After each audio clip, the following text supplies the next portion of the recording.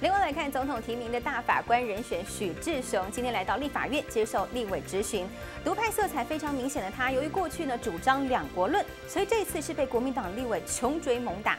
先是问他说，未来是否还会支持两国论呢？许志雄表示说，那是他当学者时的发言。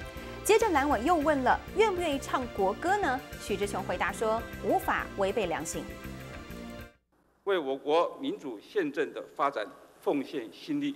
谢谢。大法官被提名人许志雄上台一鞠躬，接受立委质询。不过，大家对他的法学专业不怎么关心，反倒是过去担任学者期间主张的两国论，让立委很有兴趣。你赞成？你赞成台湾跟中国两岸关系条例？你赞成用这个名称吗？这是立法政策问题，不是我在这里能够。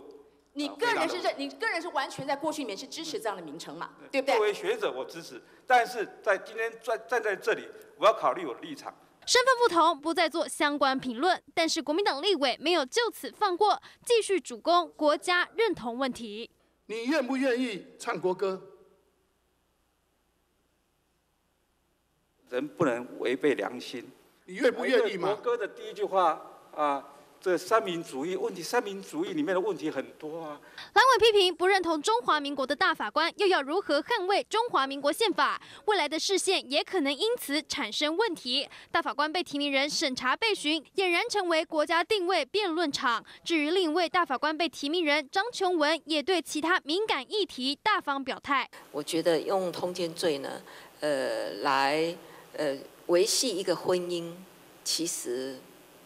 那个是那被维系的是表面的。公开支持通奸除罪化，同性婚姻也赞同。身为唯一一名女性大法官提名人，表达自己没有既定立场，安全式的回答也避免被多做解读。